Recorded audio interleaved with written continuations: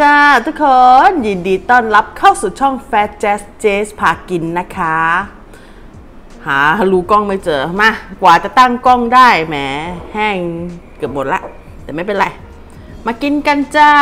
วันนี้กินต้มยำเส้นเล็ก แล้วมีเนื้อหมูด้วย เนื้อหมู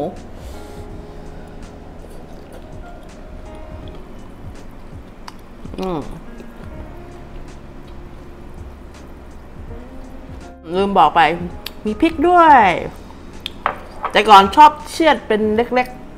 ๆ แต่วันนี้มากินเป็นเม็ดๆอย่างนี้เลย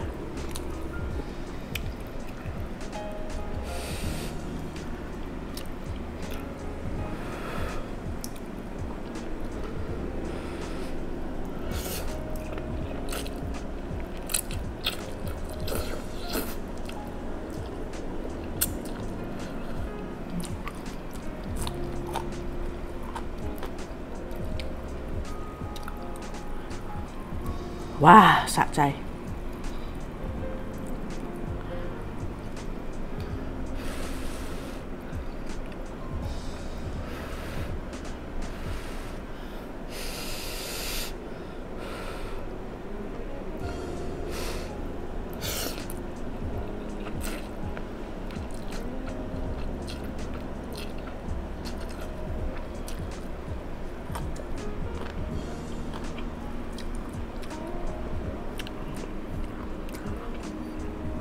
วิธีทำต้มยำเส้นเล็กนี่ก็ง่ายนิดเดียวเอง เจสซี่ไปเอาอ่า เครื่องปรุงจากบะหมี่กึ่งสำเร็จรูป มาใส่ใส่ใส่ปนปนปนใส่น้ำตาลหน่อย น้ำปลาหน่อยนะอ่ามะนาวหน่อย ก็โป๊ะเชะเสร็จเรียบร้อยแบบง่ายๆ ส่วนบะหมี่กึ่งนั้น เก็บไว้เดี๋ยวทำยำมาม่าอ่าเห็นไหม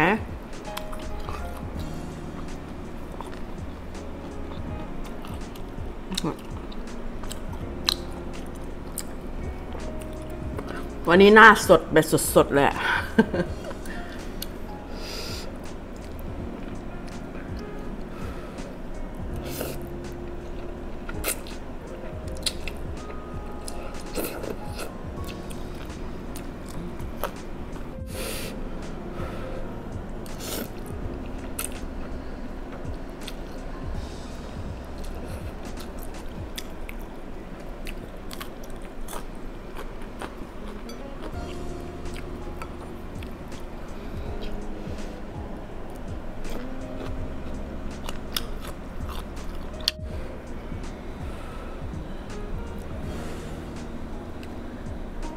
ช่วงนี้ก็ไม่รู้จะไปกินอะไร กินจนเบื่อแล้ว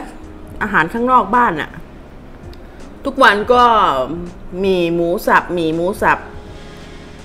ก็ไม่รู้จะกินอะไรแล้วอะเลยมาทำอันเนี้ยต้มยำกินดีกว่า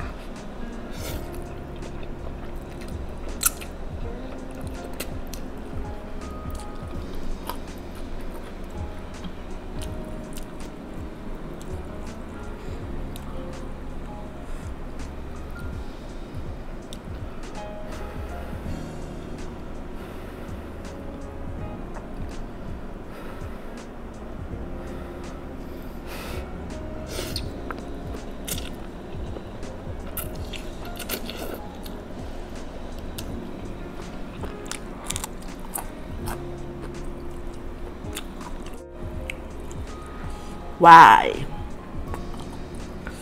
เผ็ดจี๊ดจ๊าดเลย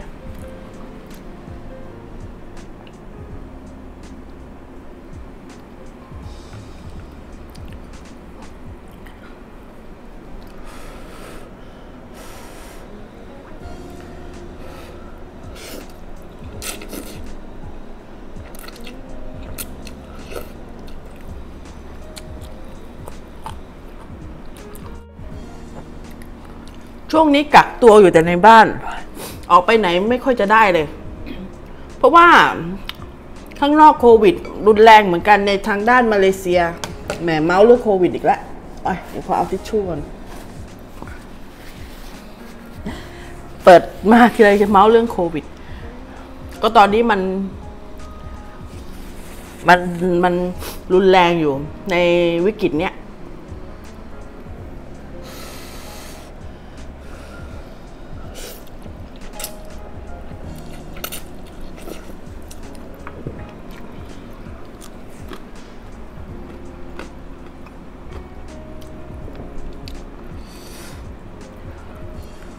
ในวิกฤตนี้หลายคนเขากักตัวอยู่แต่ในบ้าน ส่วนใหญ่ก็คือออนไลน์ซะส่วนใหญ่ เล่นแชท เล่น Facebook YouTube อะไรพวกนี้ใช่ปะในระหว่างนี้เจสซี่จะมา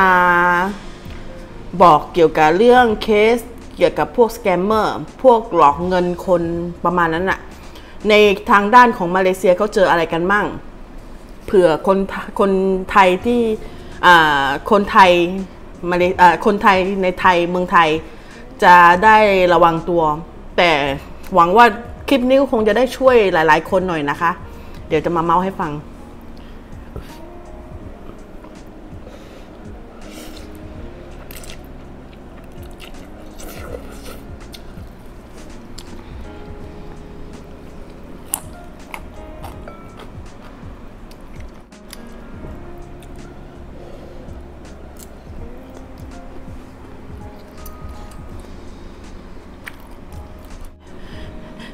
หน่อยนึง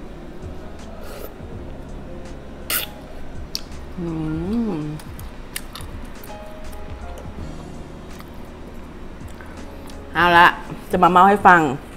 สแกมเมอร์พวกต้มตุ๋นในช่วงนี้นะ ตอนนี้ที่มาเลเซียฮิตที่สุดก็คือ พวกอ่า engineering พวกทนาย พวกอ่าคนขับเครื่องบินอะไรพวกเนี้ย ที่เขาเอารูปโปรไฟล์ที่ว่าหน้าตาดีๆ หล่อๆ มาแปะเอาไว้แล้วก็มันจะแชทเข้ามาบอก สวัสดีค่ะ รูปของคุณทำให้ผมประทับใจ ผมอยากรู้จักคุณจัง แต่ตอนนี้ผมอยู่ที่เมืองไหนอะไรสักอย่างนี่แหละเขาชอบเมาส์แบบเนี้ยเขาชอบพูดแบบเนี้ย อยู่อเมริกาเอ้ยอยู่ออสเตรเลียเอ้ยอะไรพวกนี้อ่าคุยไปคุยมาถ้าเกิดใครตกหลุมพรางก็คือคุยยาวเลยพอถึงคุยยาวแล้วเขารู้สึกว่าจะจับจับตัวเราได้แล้วนั้นเขาก็จะพูดว่า เอออาผมชอบคุณนะ แต่ผมมีพัสดุอันนึงจะส่งให้คุณอ่าเดี๋ยวคุณรอรับได้เลยนะอ่าประมาณอะไรประมาณเนี้ย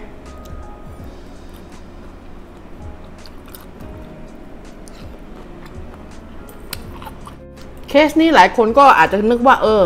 เคสธรรมดาธรรมดาเนาะมียังมีคนตกหลุมพรางอยู่เหรอ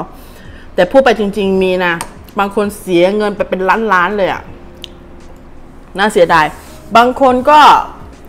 บางคนก็เขาเรียกนะ อกหักเอยฆ่าตัวตายก็มี เพราะว่าไอ้พวก scammer cyber scammer อะไรพวกเนี้ย อันตรายมากเลยพอหลังจากเขาบอกว่าเขาจะส่งพัสดุมาให้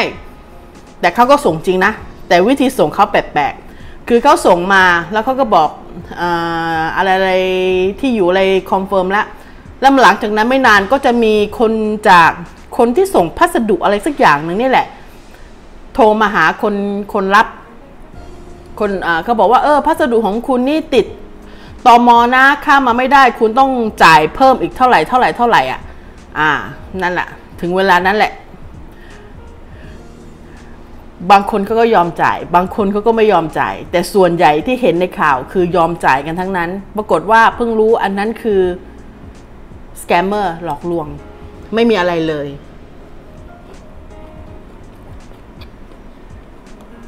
บางคนยิ่งแล้วไปใหญ่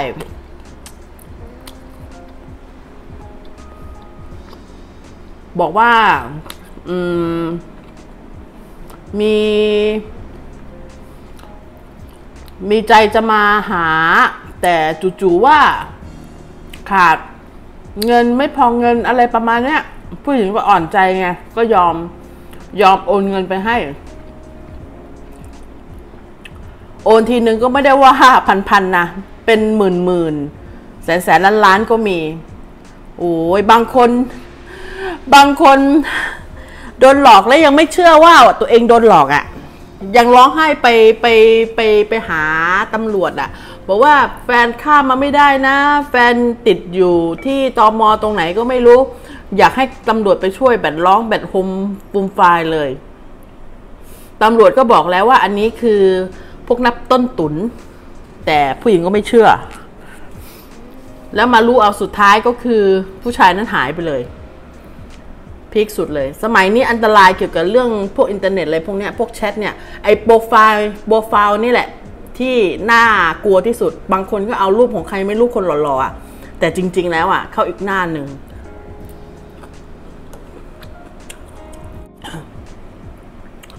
แล้วในที่เมืองไทยเห็นมีเคสเคสหนึ่งใช่ไหมเกี่ยวกับว่านักศึกษาคนหนึ่งเงินที่จะเอาไปเรียนหนังสือโอนไปให้ ผู้หญิงน่าจะเป็นที่แอบอ้างขึ้นมาโปรไฟล์เป็นผู้หญิงอะเคสนั้นอะข่าวนั้นอะคล้าย ๆ กันเลย ที่น้องโดนหลอกเงินจนเขาต้องฆ่าตัวตายอะเคสนั้นอะคล้าย ๆ กันเลย สมัยนี้เกิดเรื่องอินเทอร์เน็ตเอออะไรพวกนี้เอยต้องระวังให้ดี เพราะว่าเราไม่แน่ใจว่าเขาเป็นคนในโปรไฟล์นั้นจริง ๆ หรือเปล่า แล้ว เหตุที่เขามาหาเรามาคุยกับเรานี่แค่จะเป็นเพื่อนหรือจะมาหลอกเงินเรา อันนี้ต้องระวัง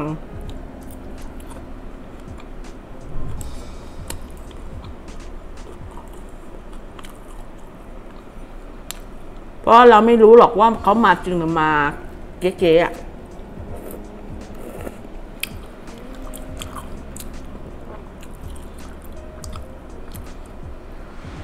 อันดับแรกที่ต้องป้องกันก็คือหนึ่งอย่าใจอ่อน อย่าร้อยเปอร์เซ็นทุ่มไปกับผู้ชายคนที่อยู่ในใน Facebook หรือในอินสตาแกรมหรือตรงไหนก็ได้ที่ว่าโปรไฟล์หล่อๆ อะไร พวกนี้เป็นนักเครื่องบินเอ่ยนักขับเครื่องบินเอ่ยพวกไพลอตเลย พูดจริง ๆ เถอะ พวกเนี้ยเขาจะมาหาคนแบบธรรมดาแบบเราทำไมอะถ้าเขาไม่มีจุดมุ่งหมาย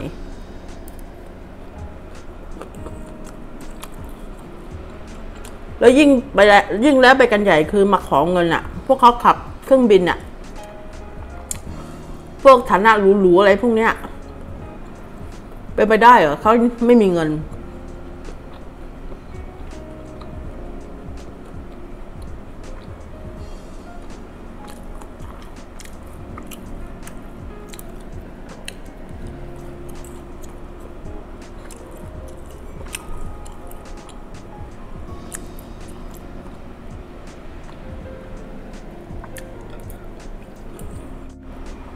ออพีกว่านั้นมาเมาส์ให้ฟัง เจสซี่เคยโดนครั้งหนึ่ง แต่ไม่ได้โดนหลอก พอจับไตได้ เขาบล็อกเบอร์เฉยเลย ก็คือเขาแชทมาบอกว่า เออ อยากรู้จักนะอย่างนู้นอย่างนี้ไอเราก็ว่า เออนานๆเนาะเราก็ไม่เคยมีมีเพื่อนที่เป็นกัปตันอะตอนนั้นมีสามีแล้ว เราไม่ได้คิดอะไรมากกับผู้ชาย ก็คิดว่าเออ น่าจะมีเพื่อนเป็นกัปตันอะไรพวกนี้เนาะมัน คราวหลังมันอาจจะมีอะไรนะ มีข้อดีก็ได้ ก็เลยเออก็เลยรู้จักกันไปพอคุยกันไปคุยกันมาถามเรื่องเกี่ยวกับว่ากัปตันทำงานอะไร แล้วก็เออมันทำงานอะไรบินสายไหนอะไรอะไรพวกเนี้ยในช่วงเวลานั้นอะพีคอ่าพีคสุดอะคืออะไรรู้ป่ะเราอยู่ในสนามบินเว้ยแล้วเราก็ถามก็บอกว่าเออเราก็อยู่สนามบินแต่คนละสนามบินกันอยู่ในต่างประเทศ แล้วคุยไปแป๊บหนึ่งแต่ก็ไม่ได้โคไม่ได้ไม่ได้คอไม่ได้อะไรนะพิมพ์พิมพ์คุยกันเฉยๆคุยไปแป๊บหนึ่งคุยเกี่ยวกับเรื่องเครื่องบินสถานีอะไร terminal อะไรพวกนี้จู่ๆเขาก็พูดมาเออนี่ โอนเงินให้เราหน่อยได้ไหมอะเราตอนนี้แย่มากเลยอะตกอยู่ที่สถาสนามบินอะไรก็ไม่รู้ มันเงินหายกระเป๋าตังค์หาย ช่วยอะไรหน่อยได้ไหมอะไรอะไรพวกเนี้ยมาทวงมาขอเงินทางทางตัวเองตัวเองเป็นนักอะไรนะนักบินอะมันไม่ใช่หรือเปล่าแล้วเพิ่งรู้จักกันวันนั้นแล้ววันนั้นขอเงินเลยเว้ยแล้วเราก็บอกคุณเป็น scammer หรือเปล่าทำแบบนี้ไม่ดีนะ ถ้าคุณจะหลอกเงินคนคุณคิดถึงตัวคุณเองมั่ง ถ้าวันอนาคตคนอื่นเข้ามาหลอกคุณแบบนี้คุณจะรู้สึกยังไงพอพูดแค่นี้ บล็อกเบอร์หายเฉยเลย โปรไฟล์เขาดีนะ รูปวิดีโออ่ารูปภาพอะไรเขาดีนะ ไม่น่าเลย ก็เอาเขาน่าจะขโมยรูปของคนอื่นมามาหลอกมาหลอกมาหลอกคนอะในช่วงเวลานั้นอะเผอิญน่าจะเป็นเคสที่ไม่นานอะเกี่ยวกับเรื่องอ่าพวกขับเครื่องบินกับตันเครื่องบินอะไรพวกเนี้ยมาหลอกเงินคนอะ เขาเลยยังเราเยสซี่เลยรู้สึกว่าเขายังไม่ไม่โปร ยังหลอกไม่ได้ยังยังไม่โปร ก็เลยก็เลยจับไตได้ไงเขาก้าวเร็วไป ก็เลยบอกกับทุกคนว่า ถ้าเกิดใครเจอรูปโปรไฟล์หล่อๆหน้าตาฝรั่งฝรั่งนั่นแหละ คนไทยชอบเลย ฝรั่งฝรั่งอะไรพวกเนี้ยระวังให้ดีเถอะไอ้พวกเนี้ยบางคนอะ มันเป็น scammer มันเป็นคน ไม่พูดแล้วกัน เดี๋ยวเหยียดผีเหยียดเหยียบสีสีผิว ก็อาจจะเป็นพวก scammer อะไรพวกนั้นอะเพราะฉะนั้นต้องระวังระวังให้ดีๆเลย ถ้าเอ่ยถึงเรื่องเงินเมื่อไหร่ หรือเอ่ยถึงว่าเออมีของจะส่งมาให้คุณโดยคุณเพิ่งรู้จักอะไรอย่างเงี้ยต้องระวังตัวละ มันไม่ใช่มันไม่ใช่ละมันเป็นพวกต้มตุ๋นละ ก็เลยมาเมาส์มอยให้ฟังแค่นี้แหละ มาเตือนเตือนกันว่าสมัยนี้อย่าไปเชื่อใจคนที่อยู่ในอินเทอร์เน็ต พวกที่อยู่ในไซเบอร์อะไรพวกนี้เยอะเพราะบางคนมันไม่ใช่คนมันเป็นใจหมา มาหลอกกินเงินเรา เพราะฉะนั้นต้องระวังให้ดี กินไปเม้าท์ไปกินไปเม้าท์ไปหมดละ เอ้ยกินจนหมดละ เดี๋ยวคราวหลังมีอะไรมาเม้าท์มอยให้อีก หรือมีอะไรมาโชว์กินอีกจะมาโชว์ให้ดูนะคะเอาละค่ะ ถ้าชอบวิดีโอคลิปนี้อย่าลืมช่วยกันอุดหนุน กดไลค์กดแชร์กด Subscribe ให้เจสซี่ด้วยนะคะ เจสซี่จะได้มีกำลังใจหาคอนเทนต์ หาเรื่องราวใหม่ๆ มาคุยกัน มาเมาส์มอยกันให้ทุกคนได้ฟังกันนะคะสำหรับวันนี้นั้นเจสซี่ขอลาไปก่อน พบกันไหนพบกันใหม่คลิปหน้านะคะ สำหรับวันนี้นั้นลาไปก่อนจ้า สวัสดีค่ะ บายวู้